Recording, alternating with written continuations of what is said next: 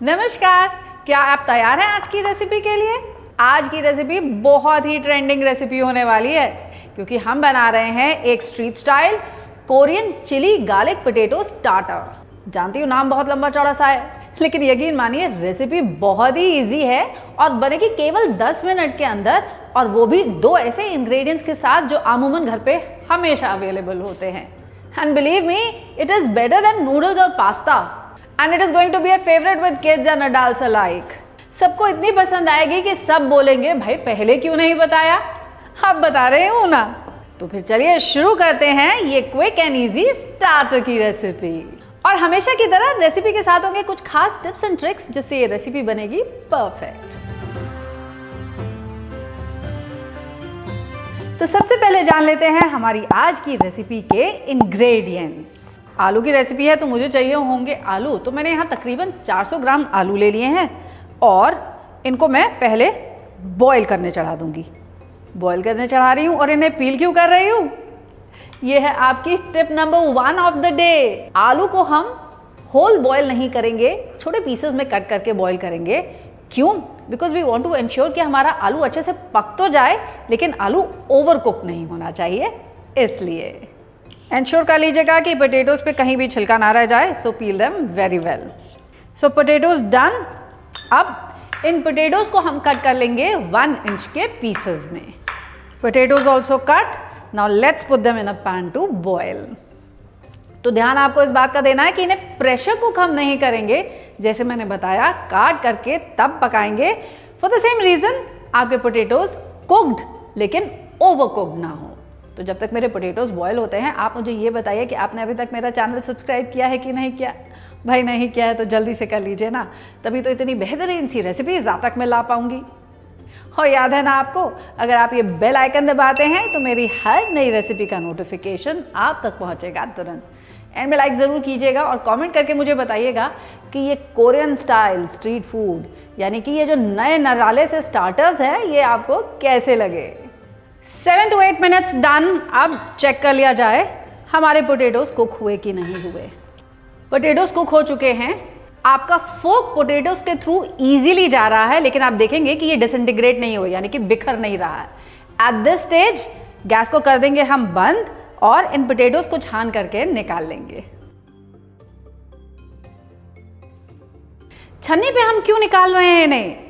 ये भी बताती हूँ, क्योंकि ये है आपकी अगली टिप, यानी कि tip number two of the day potatoes को हमको करना है मैश और इन मैश पोटेटोज का चाहिए हमें एकदम फाइन मैश जिसमें कोई भी लम्स नहीं रह जाने चाहिए. इसीलिए हम क्या करेंगे? इन पोटेटोज को एक छन्नी से छान लेंगे, ताकि एकदम फाइन मैश हमारे पास रेडी हो जाए. Now with the back of a spoon मैं इसे इस छन्नी से ऐसे पास करती जाऊँगी. So that I will have a fine mash coming out आप मैश को नीचे से क्लीन करते जाइए so that it makes space for more mash और ध्यान रखिएगा कि इस काम को हमें करना है जब हमारे आलू गर्म होंगे ना, तभी। आलू को ठंडा नहीं होने देंगे, नहीं तो आप जानते क्या होगा? ये पोटेटोज एकदम मशी हो जाएँगे और गुई हो जाएँगे। एंड एज अ रिज़ल्ट आपका जो डो बनेगा ना, उसको बहुत ज़्यादा फ्लार की ज़रूरत पड़ेगी बाइंड करने के लिए। पोटेटो जब मैश हो जाएगा, तब हम इसमें ऐड करेंगे कॉर्नफ्लोर। कितना कॉर्नफ्लोर? 400 ग्राम अगर मैंने इसमें आलू लिया है तो मुझे चाहिए होगा तकरीबन सवा कप। जी हाँ सवा कप कॉर्नफ्लोर।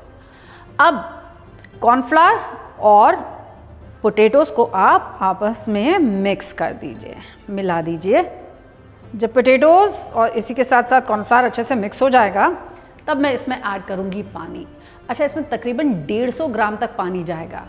यानी कि एक छोटे कप का साइज़ या फिर तीन चौथाई जो हम ये मेजरिंग कप इस्तेमाल करते हैं ना, वो वाला कप अब अलग अलग पोटेटोज अलग अलग आलू का जो मॉइस्चर होता है ना, उनके अंदर जो पानी मौजूद होता है, वो अलग अलग होता है। इसीलिए इकट्ठा सारा पानी नहीं ऐड करेंगे थोड़ा थोड़ा करके हम इसमें पानी ऐड करेंगे और इसको एक एकदम सॉफ्ट डो की तरह से गूंद लेंगे। ऐसा सॉफ्ट डो जिसमें क्रैक्स बिल्कुल नहीं होने चाहिए।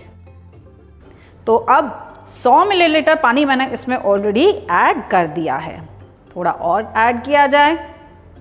तो ये देखिए, एक स्मूथ सा डो हमारे पास तैयार हो गया। Once your dough is ready मैं एक बोल में यहाँ पर थोड़ा सा ऑयल ले ले रही हूँ। और अपने हाथों को हल्का सा ग्रीस करके ये देखिए।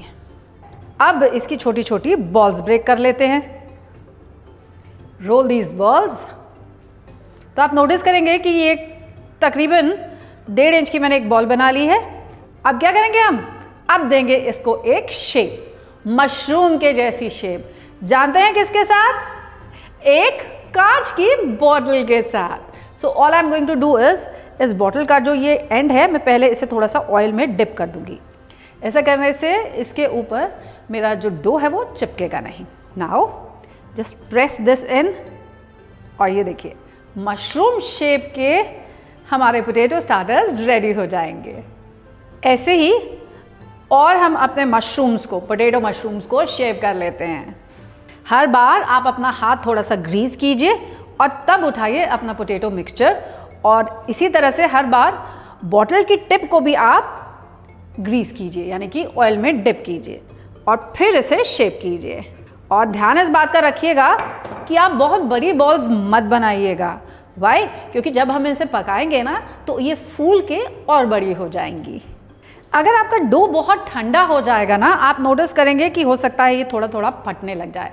इन दैट केस अगर आपके पास माइक्रोवेव हो तो 30 सेकेंड्स के लिए अपने डो को माइक्रोवेव कर दीजिएगा, ताकि वो फिर से थोड़ा सा वार्म हो जाए। वार्म डो से अपने स्टार्टर्स को शेप आउट करना बहुत आसान हो जाता है। तो ये देखिए almost 20 pieces of potato mushrooms I have ready हो गई है और इसी के साथ साथ आप नोटिस करेंगे कि मैंने यहाँ पर पानी उबालने के लिए भी चढ़ा दिया है एक कढ़ाई में। ध्यान इस बात का रखना है कि हमको कढ़ाई या पतीला जो भी लेंगे ना, वो बड़े साइज़ का चढ़ाना है।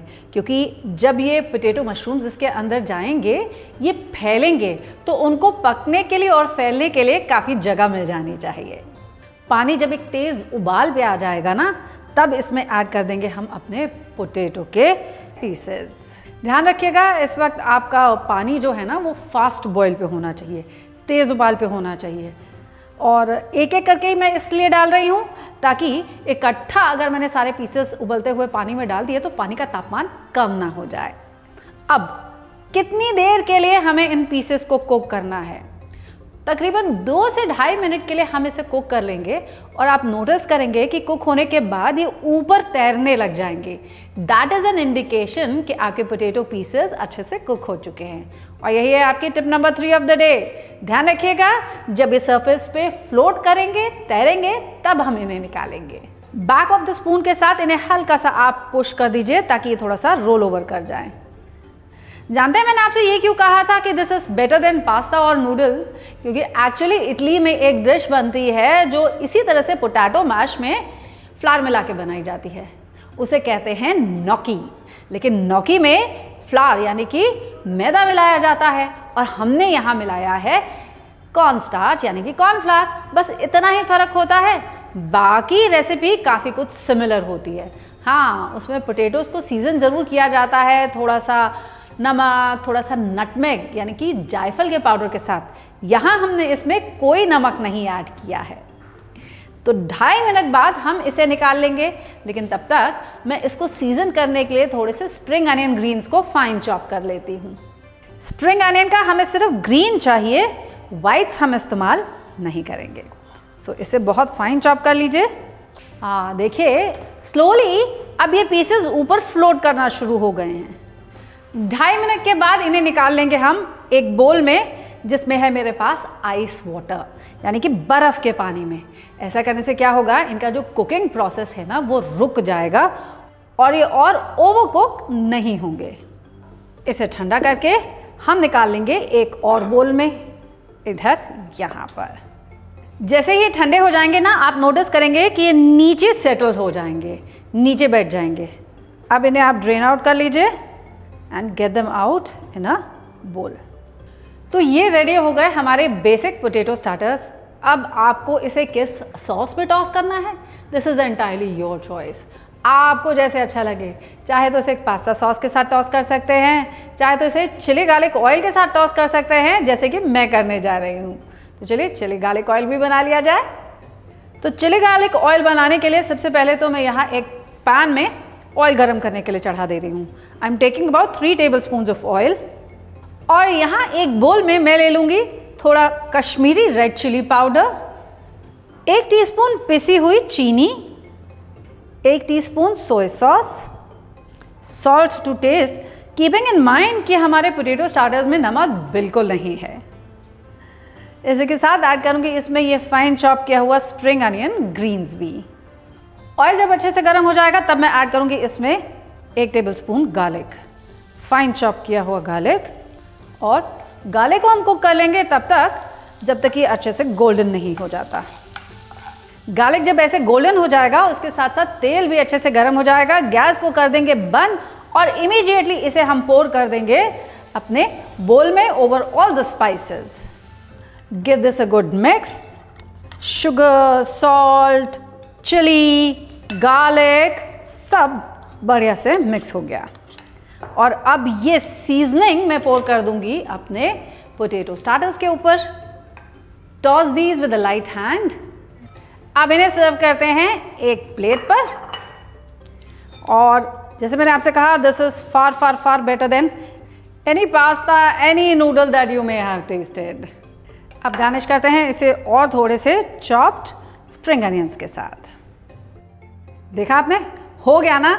झटपट से इतना डिलिशियस सा एक स्टार्टर तैयार जो बना है, केवल दो बेसिक इंग्रेडिएंट्स के साथ। सॉस तो जैसे मैंने आपसे कहा, आपकी मर्ज़ी। अब इसे आप ट्राई कीजिए और मुझे ज़रूर बताइएगा कि आपके फैमिली मेंबर्स को ये झटपट वाला कोरियन स्टार्टर कैसा लगा।